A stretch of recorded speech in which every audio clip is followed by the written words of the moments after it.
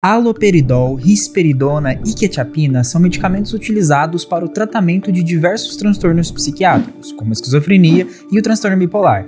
Mas o que pouca gente sabe é que eles podem causar um efeito colateral péssimo para a qualidade de vida do paciente. Nesse vídeo aqui, eu vou explicar para vocês sobre a discinesia tardia, um efeito colateral com um nome muito complicado, mas que atrapalha a vida de bastante paciente que usa antipsicótico. É muito importante, antes da gente começar a falar sobre isso, que por mais que esses medicamentos tenham esse nome de antipsicóticos, eles não vão ser utilizados apenas em transtornos que apresentem a psicose como sintoma, uma vez que eles também podem ser utilizados em transtornos de humor como o transtorno bipolar, ou até mesmo em alguns distúrbios do neurodesenvolvimento desenvolvimento como o transtorno do espectro autista, o TEA. Bem, o haloperidol, também conhecido como Aldol, é classificado como antipsicótico de primeira geração, ou antipsicótico típico.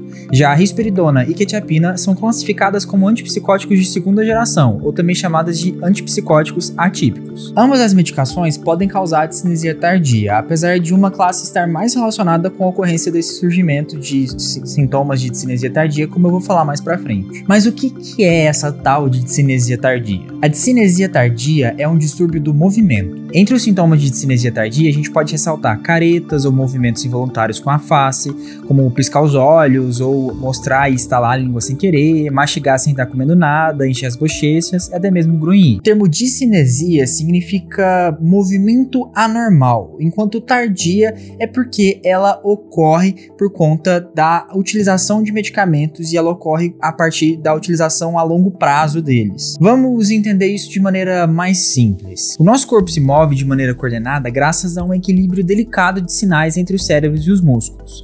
O cérebro usa neurotransmissores para dizer ao corpo como e quando se mover. Um desses neurotransmissores é a dopamina, que desempenha diferentes funções no nosso corpo, dentre elas o controle do nosso movimento. Em uma área que chamamos de núcleos da base, a dopamina atua modulando a atividade de diferentes neurônios que fazem os ajustes finos necessários para a gente iniciar os movimentos e executar de forma harmoniosa. Sem o nível adequado de atividade dopaminérgica nessa área dos núcleos da base, a gente fica incapacitado de promover o controle adequado dos movimentos, fazendo com que a gente tenha dificuldade de iniciar essa movimentação e também de manter o movimento mais harmonioso, mais adequado. Inclusive, essa é uma das hipóteses para explicar como que surgem os sintomas da doença de Parkinson, uma doença neurodegenerativa que está relacionada ali com a degeneração de neurônios que produzem dopamina nesses núcleos da base. Mas o que isso tem a ver com as medicações antipsicóticas?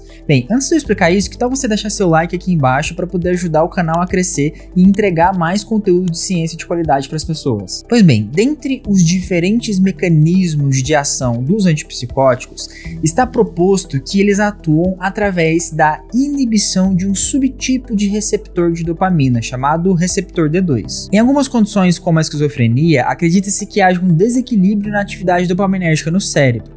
Esse desequilíbrio estaria associado a sintomas psicóticos, como alucinações, delírios e os pensamentos desorganizados. Mas esse desequilíbrio dopaminérgico não se limita apenas à esquizofrenia ou até mesmo apenas a transtornos que estão relacionados com sintomas psicóticos, uma vez que alguns transtornos como o TEA, né, o transtorno do espectro autista, o TDAH e até mesmo a bipolaridade também está correlacionada com alterações no padrão de atividade dopaminérgica em diferentes áreas do cérebro. Ao atuar bloqueando os receptores do tipo T2, os antipsicóticos promovem uma diminuição da atividade dopaminérgica em diferentes áreas do cérebro. Isso pode ser benéfico e necessário para melhorar os sintomas psicóticos ou sintomas de alterações de humor nos transtornos bipolares mas também pode ser maléfico, uma vez que a diminuição da atividade dopaminérgica sobre as vias ali dos núcleos da base promovem esses sintomas de discinesia tardia. Mas calma aí, que não significa que todo mundo que toma antipsicótico vai de fato apresentar a discinesia tardia. Na verdade, a ocorrência desse distúrbio pode variar bastante conforme o background genético da pessoa,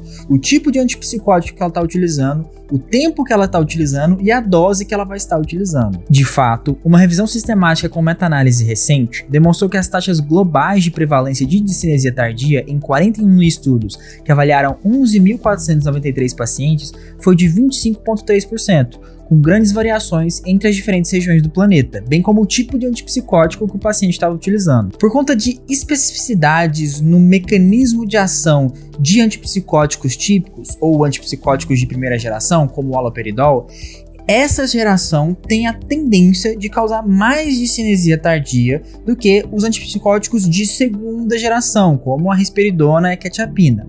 Mas novamente, isso não significa que uma pessoa que esteja utilizando um antipsicótico de segunda geração não vá apresentar esse efeito colateral. Infelizmente, até o presente momento a gente não sabe porque algumas pessoas vão desenvolver a discinesia tardia e outras pessoas não vão desenvolver, ainda que ambas estejam utilizando os mesmos tipos de antipsicóticos e talvez até mesmo pelo mesmo tempo, a mesma dose. Alguns estudos têm apontado para alterações genéticas, principalmente em vias relacionadas com os receptores de dopamina, como também até mesmo outros neurotransmissores como o GABA, que também são importantes para a atividade dos núcleos da base. É muito importante deixar claro aqui que nenhuma medicação deve ser suspensa por conta própria.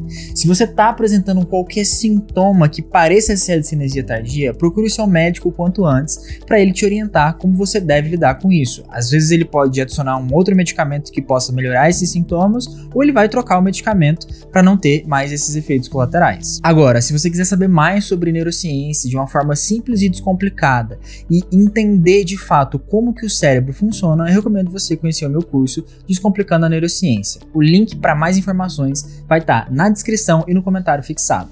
Muito obrigado pela atenção e até mais!